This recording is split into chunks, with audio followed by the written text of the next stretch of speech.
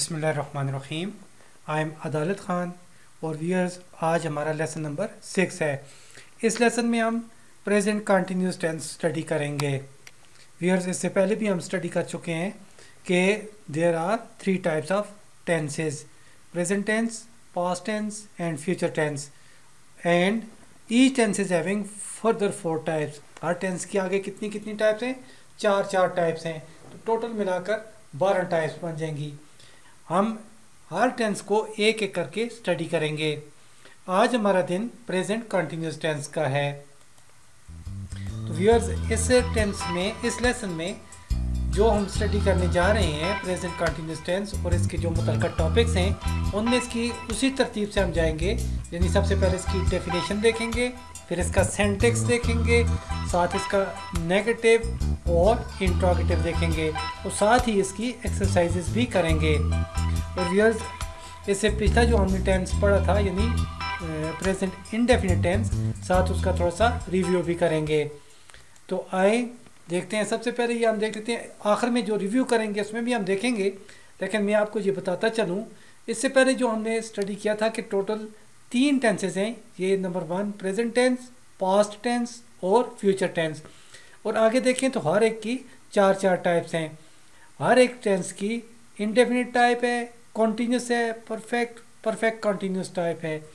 तो टोटल मिलाकर ये अगर आप देखेंगे तो ट्वेल्व टेंसेज बन जाएँगे। तो वियर्स इससे पहले भी मैं आपको बता चुका हूँ कि हर टेंस जो है, वो सिर्फ़ और सिर्फ़ वर्ब और हेल्पिंग वर्ब पे डिपेंड करता है। अगर उसका वर्ब और हेल्पिंग वर्ब और चेंज करेंगे, इसमें थोड़ी बहुत चेंज आएँगे तो वो एक टेंस से दूसरी टेंस की फॉर्म में चेंज हो जाएगा। फॉर एग्जांपल आप ये देखें तो ये प्रेजेंट इनडेफिनिट टेंस है। इसका सेंटेक्स है सब्जेक्ट के बाद वर्ब की फ़र्स्ट फॉर्म इसी तरीके से कंटिन्यूस को देखें तो सब्जेक्ट के बाद हेल्पिंग वर्ब है और वर्ब के साथ आई एन जी है।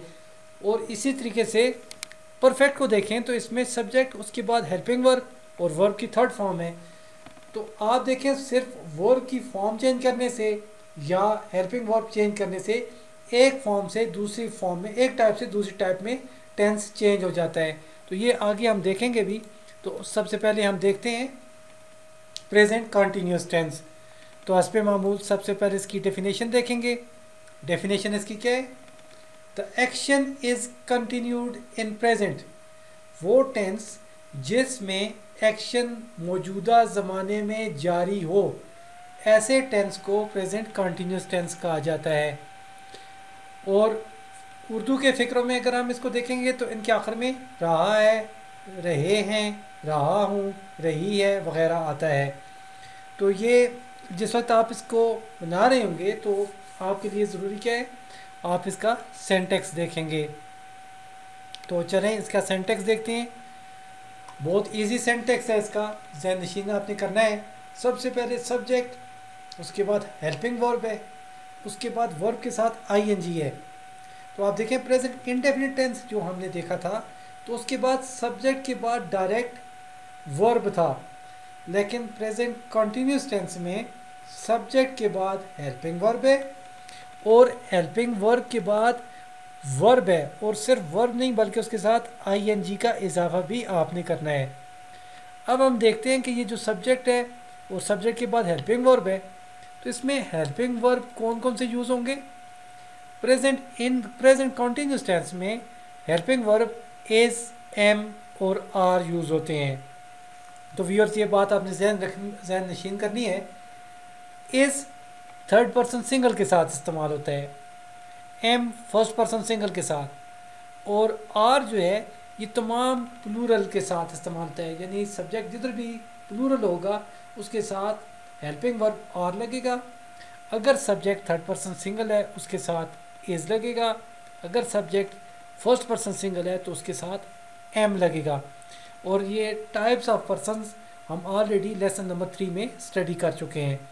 और अगर आप उसको दोबारा, अगर नहीं अगर आप समझ पा रहे हैं तो आप उसको दोबारा से रिव्यू कर लें। इसकी थोड़ी सी एग्जांपल साथ साथ देखते हैं। अब यहाँ पे वर्ब है ईट तो ईट पे वर्क हुआ हुआ है सारे का सारा। I am eating an apple मैं सेब खा रहा हूँ। आपने क्या किया? सबसे पहले सब्जेक्ट आई जो है वो सब्जेक्ट है। सब्जेक्ट के बाद आपने क्या किया? हेल्पिंग वर्ब लगाया। आई के साथ हेल्पिंग वर्ब क्या लगता है? एम उसके बाद आपने वर्ब लगाकर उसके साथ आई एन जी लगाया है। I am eating an apple उसी तरीके से रहेगा। मैं सेब खा रहा हूँ। और इसी तरीके से फ़र्स्ट पर्सन प्लूरल है। सब्जेक्ट फ़र्स्ट पर्सन प्लूरल लगाएँगे। वी हम। वी के साथ हेल्पिंग वर्ब आर लगेगा। उसके बाद आप देखें, इसी तरीके से ईट के साथ आई एन जी लगा हुआ है। वी आर ईटिंग एप्पल्स हम सेब खा रहे हैं। सबसे पहले सब्जेक्ट सब्जेक्ट के बाद हेल्पिंग वर्ब और उसके बाद वर्ब के साथ आई एन जी ईट के साथ आई एन जी लगा के आपने ईटिंग में कन्वर्ट किया इसको। वी आर ईटिंग एप्पल्स हम सेब खा रहे हैं। सेकंड पर्सन के साथ देखते हैं। यू सेकंड पर्सन है। ये प्लूरल सिंगुलर दोनों इकट्ठा यू ई उसको लिखते हैं। और यू के साथ हेल्पिंग वर्ब जो यूज़ होगा, वो आर इस्तेमाल होगा।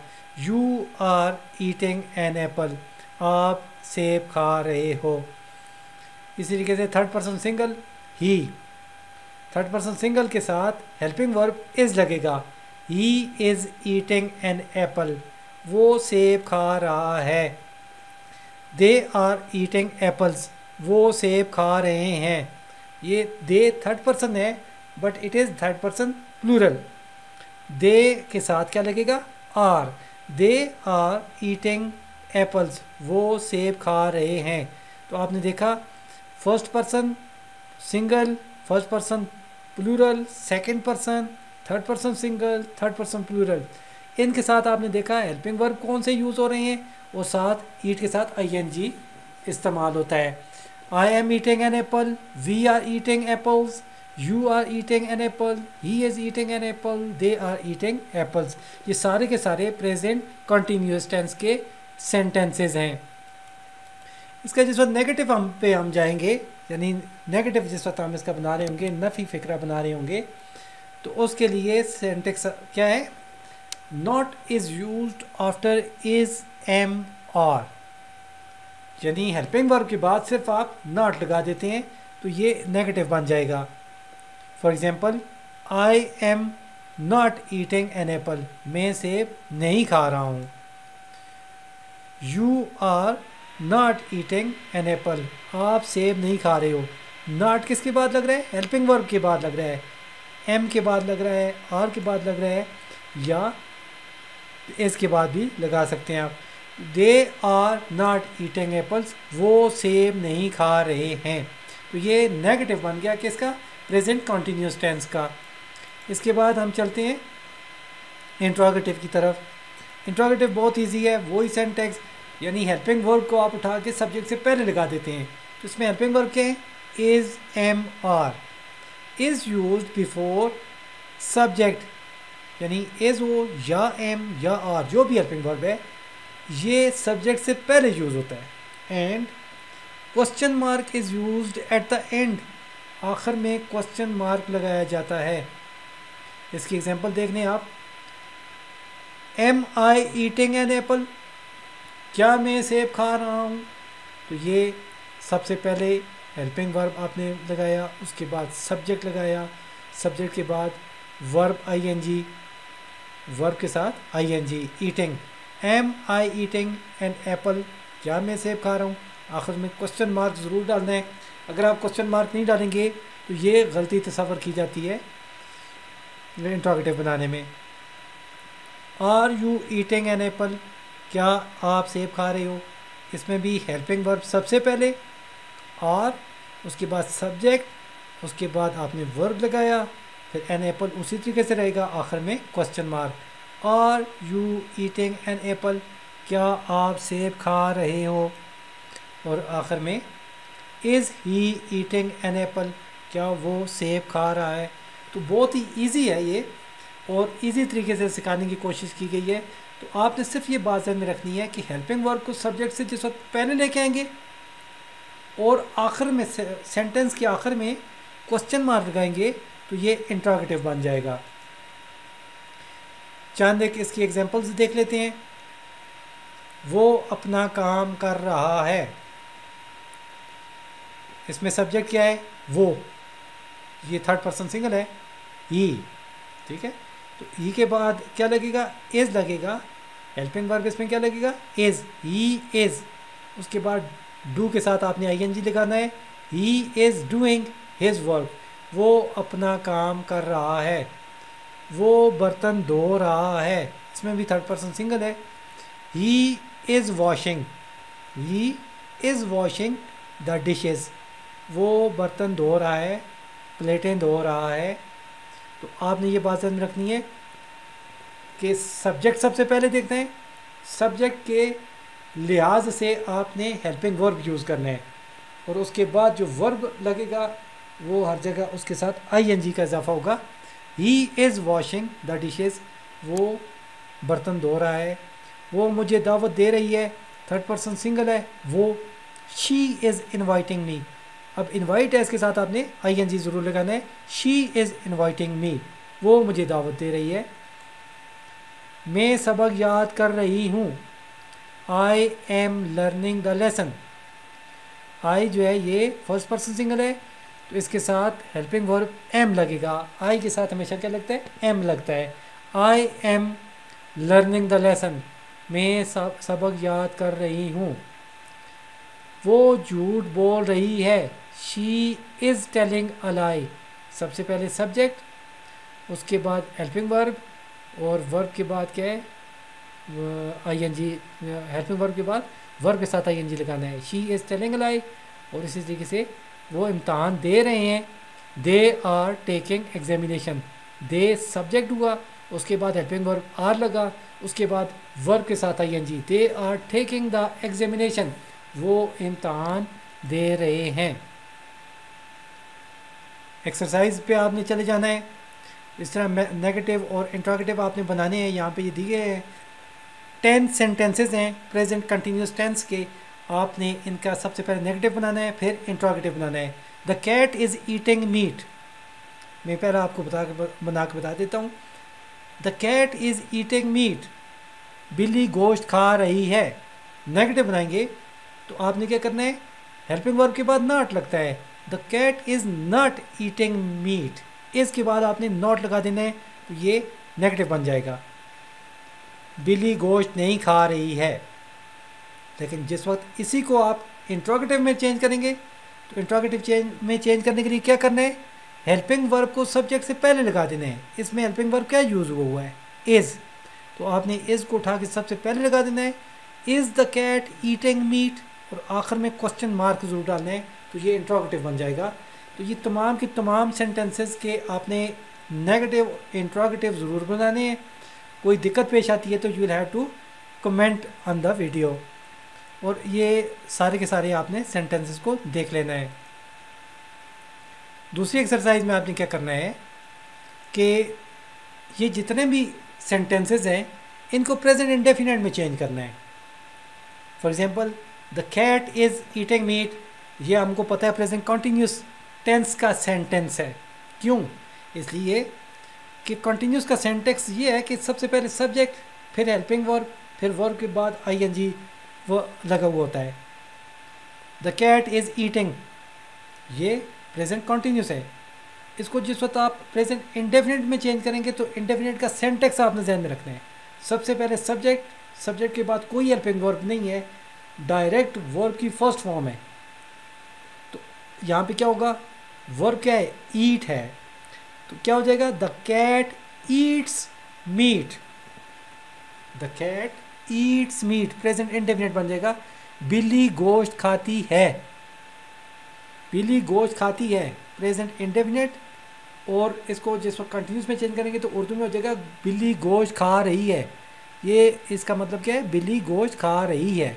The cat is eating meat तो आपने इसको जिस वक्त चेंज आपने सेंटेक्स के हवाले से इसको चेंज करके देख लेना है। आखिर में हम रिव्यू करेंगे तो आपको इसकी समझ भी आ जाएगी।